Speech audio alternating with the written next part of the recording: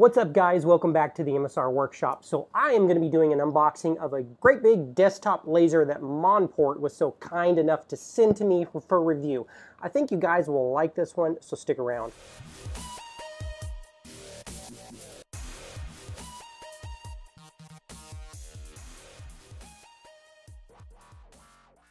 Alright guys, so let's talk about this unboxing here. So this is the Monport Reno 45 that Monport was kind enough to send to me. And this is not my first experience with Monport lasers. I did a bunch of videos on the K40, which is their 40 watt, really beginner CO2 laser.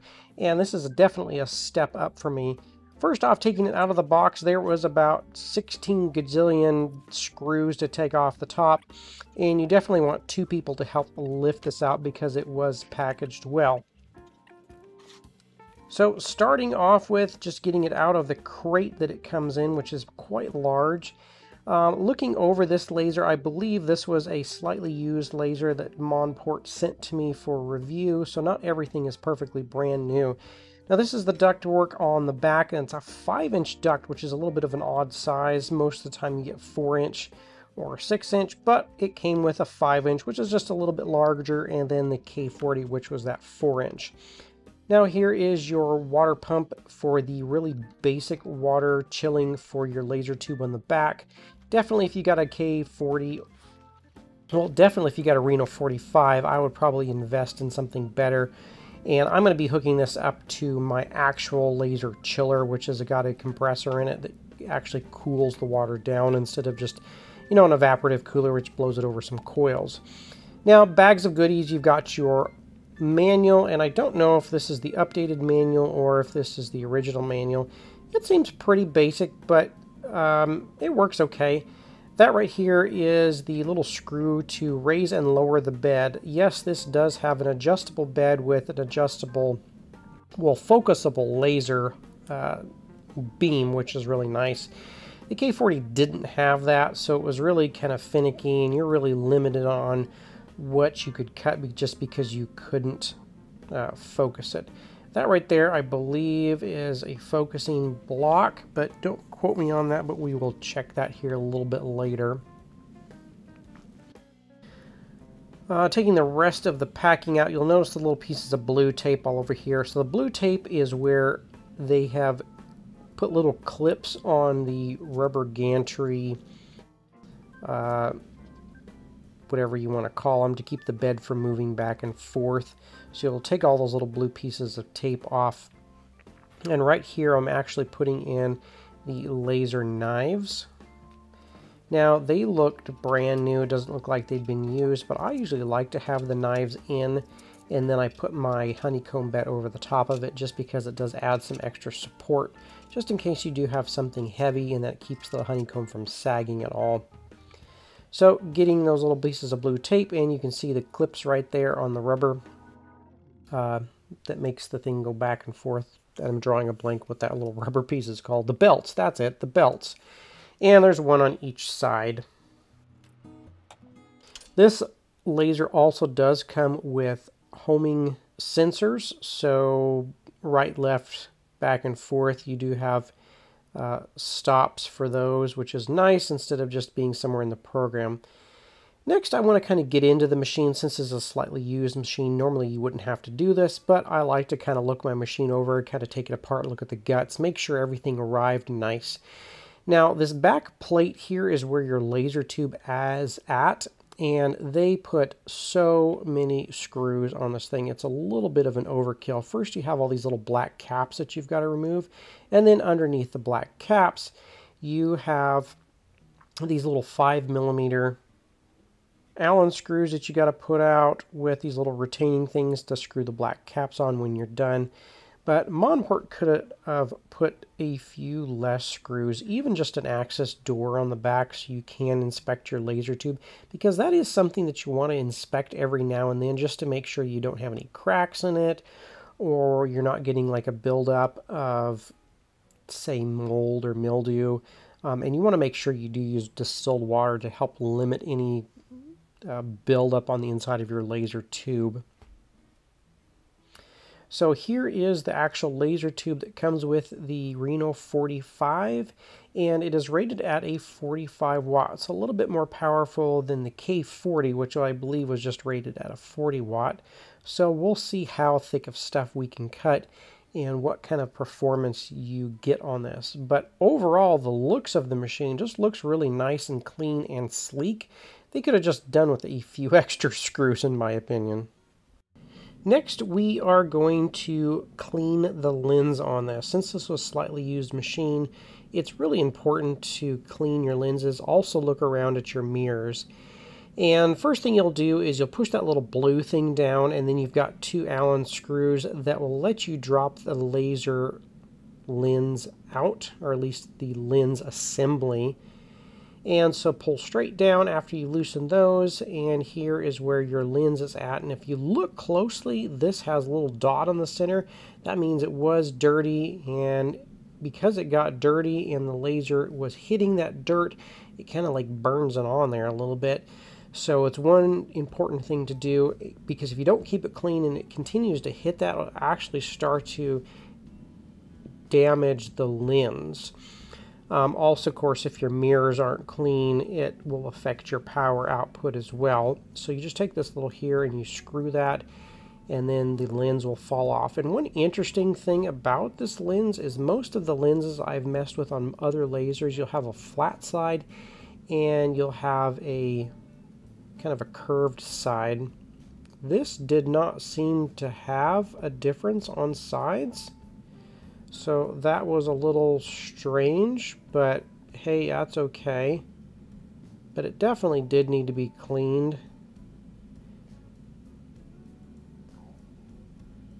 And just looking at it there, you'll see that there's not really a difference in the two sides.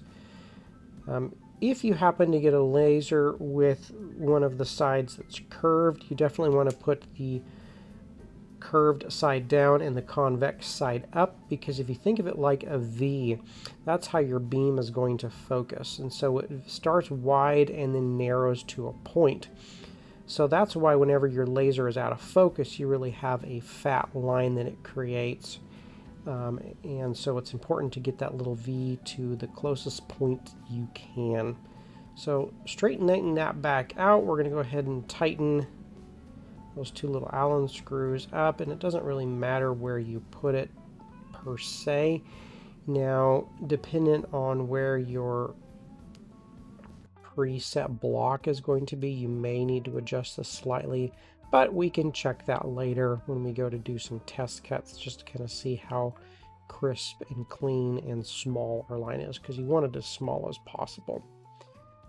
Now I'm going to go ahead and put one of the mirrors back in. This is one that I pulled out. This is just the one that goes right on top. This one's really easy to remove. The others, I would recommend getting some like specialized Q-tips that are made for cleaning camera lenses.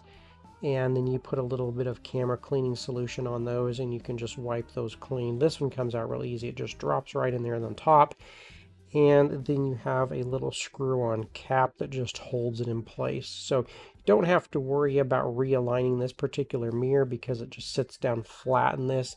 The other ones, if you do pull them out, you may have to end up realigning the mirrors, and that's a whole nother process that we probably won't get into in this video. There's quite a few videos on YouTube.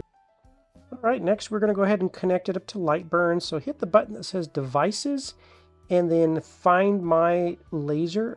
And when it finds it, you're going to hit next. And you'll see this Top Wisdom TLA1 controller that says 400 by 300. And select that and hit Add Device. So once you hit Add Device, you'll pop up with the X-axis and Y-axis settings, and it should already be programmed for you um, to 400 by 300, but if it's not, you can change that there.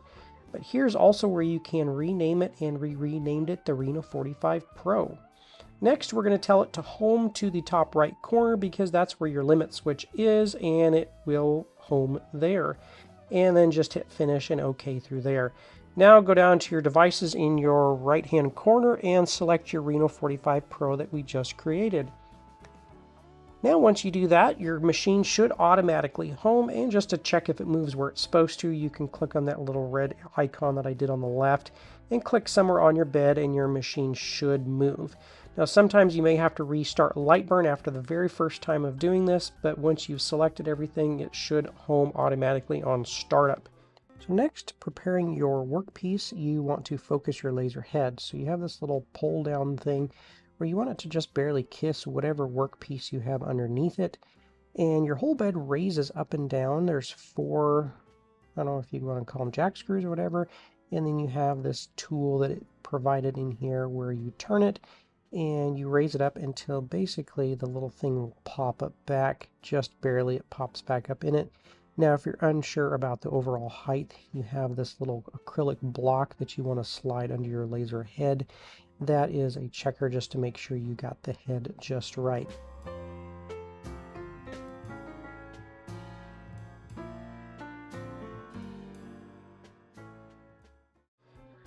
So here we threw in a piece of 2 mil Baltic birch plywood just to do a test cut and a little bit of engraving. So the engraving that we are going to be doing here is just a small picture of my logo. And we are actually going to engrave it and then cut it out when it's done.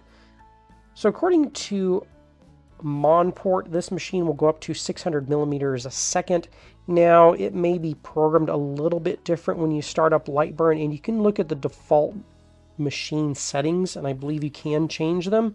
But here we are engraving at 400 millimeters a second, which is pretty blazingly fast, if you ask me. Now, I know different types of lasers, and even more expensive fancy lasers can go faster than that. But for this size of bed, just because your nozzle has to speed up and slow down, and the faster you do this, the harder it is for the machine sometimes to speed up and slow down in that confined space. So 400 millimeters a second, and we did this at 30% power and 200 lines per inch, and we just did a left and right pattern. We did not do a crosshatch is really, really fast, and this is in real time. I'm not speeding anything up. We do have the air assist enabled, which is doing a great job.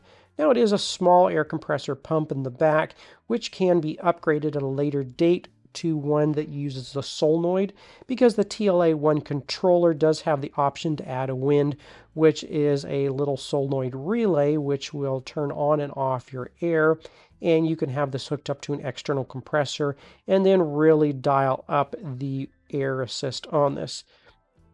Now my larger laser I have done this and I have it running at about 30 psi and it just really really cleans the cutout actually helps you engrave quite a bit deeper just because you're blowing any of the char and sawdust out of the cut and does a really really nice job so I'll actually be doing another video on that on the K40, I actually wasn't able to do that, but I went ahead and connected it to an external air compressor, which really did amp the machine up to the next level.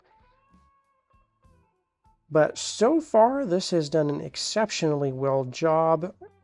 I don't see a lot of charring or burning on this, and we'll get some close-ups of this. But as you can see, this really did a nice job. Here's where I got my camera finally focused, and I don't see really any burring on the cut. The edges look nice and clean. It did a nice deep engrave. It was very smooth. I don't see gaps in the back and forth movement, which sometimes is an indication of either a loose belt or error in the code with the machine everything looks really, really nice and smooth, especially for being plywood. So very impressed. All right, guys, that is it for this particular video. I know I just really scratched the surface on what this Reno 45 Pro can do, but if you stay tuned on my channel, we will be doing some more review videos on this just to kind of see what kind of things you can make on it.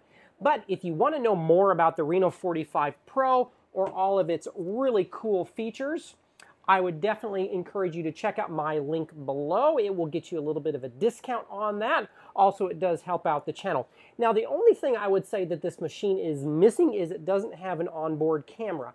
Well, Monport thought of a solution for that, and they came out with the Vision 45 Pro, which is basically the same machine, but it does add that camera capability to it. Now you can add an aftermarket camera to it, which does work pretty well, and I may end up doing that on this one.